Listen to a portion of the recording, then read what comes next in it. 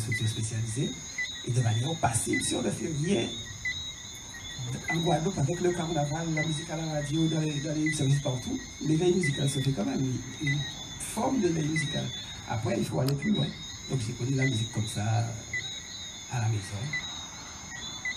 Voilà. Une dernière. Alors, son combat, c'est le jazz.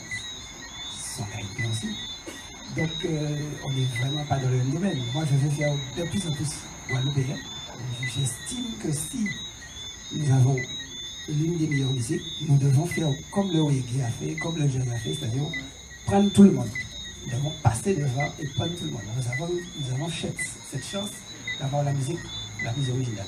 Les jazzmen jouent une musique un peu hybride, un peu mélangée, à tel point qu'il y a des Européens, des Français, qui ont revendiqué leur héritage dans le jazz.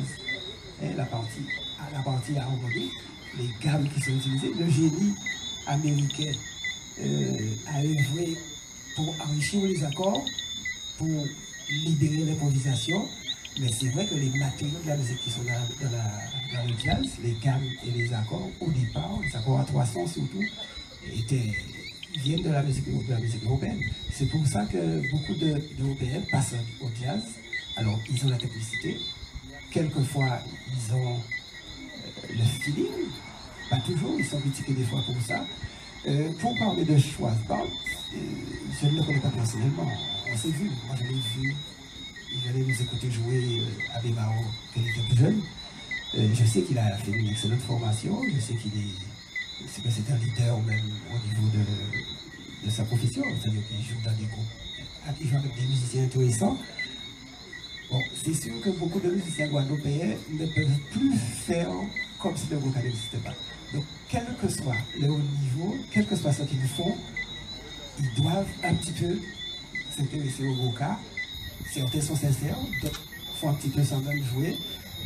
Mais je sais que tous n'ont pas étudié le vocal. Donc, il ne suffit pas d'être guadeloupéen pour être musicien guadeloupéen, pour être musicien vocal. Quand on est guadeloupéen, on est d'origine guadeloupéenne, on peut être musicien, mais on n'est pas forcément musicien guadeloupéen si on ne maîtrise pas la musique guadeloupéenne. Alors, jusqu'à un certain point, bon, moi je dis au niveau du jazz, il est super intéressant. Après, c'est à lui de voir s'il veut et en plus de coca. Apparemment, c'est pas ce qu'il a retenu pour l'instant. Euh, il ajoute un petit zeste pour. C'est comme tout. Et, comme il s'appelle euh, Miles Davis aussi a ajouté un petit peu de chaque courant musical qui, qui arrivait. Donc, professionnellement, c'est leur, leur, droit, c'est une tactique pour rester au contact de la population. Bon, à chacun son truc. Et c'est Goka qui pourrait être ta passion. Est-ce que tu as un rêve aujourd'hui? Le, le a été ma passion parce que l'excellence est mon but. Si j'avais pu apporter quelque chose dans une autre musique de la Guadeloupe, j'aurais choisi une autre. Celle-là, euh, il n'y avait personne dedans. Et manifestement, euh, tout le monde tout le monde va au Goka de manière euh, en étant avec un, maître. Moi, je ne suis pas allé au Goka. Je suis allé au Goka par si je peux dire entre guillemets, par la volonté de comprendre. En fait, s'il n'y avait pas un chemin qui permettait à l'intelligence de me permettre d'y aller, je n'aurais pas pu y aller. Je n'ai pas, j'ai très peu de capacité à capter quelque chose comme ça. Il, faut que je trouve par quel bout commencer.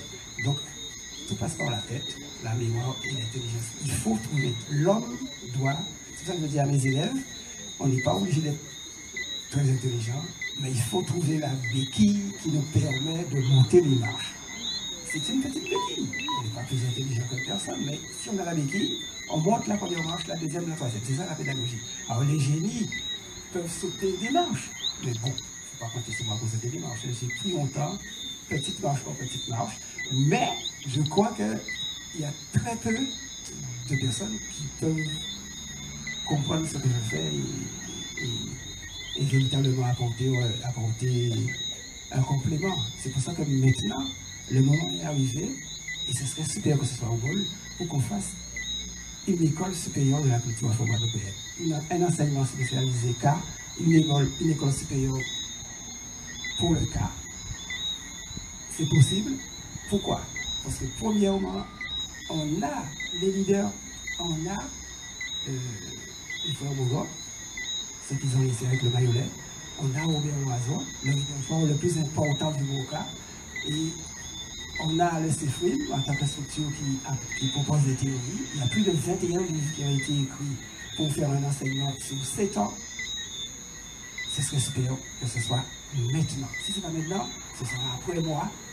Peut-être que ce sera mieux, mais bon, on aura besoin du temps.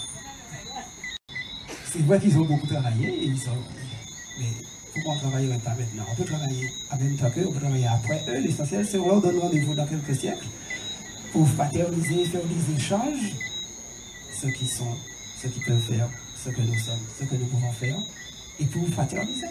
Ils ont des libertés, égalité, fraternité. Bon. L'égalité, l'égalité, c'est pas encore là. La fraternité, ça? Commence. Donc, il y a beaucoup, beaucoup de choses à faire. Dans ce livre-là, on a voulu. C'est. Euh, c'est le livre que j'aurais dû écrire en deuxième.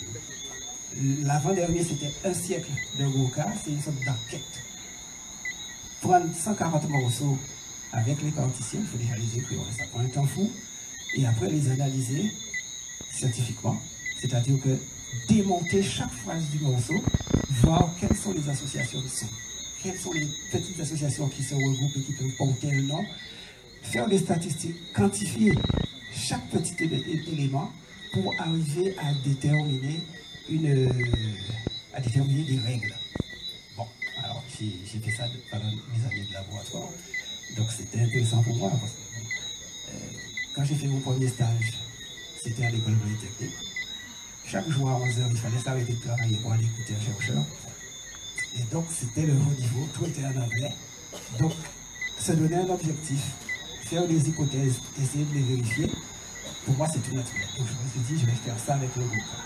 Sous les 114 on a trouvé des règles qui nous ont surpris. Et c'est là qu'on a compris qu'il ne fallait pas jouer avec ça, que c'était une science. C'est ce qui se fait de mieux. Et je dis même que si les musiciens classiques maîtrisaient ça, ils n'auraient pas fait de musique classique.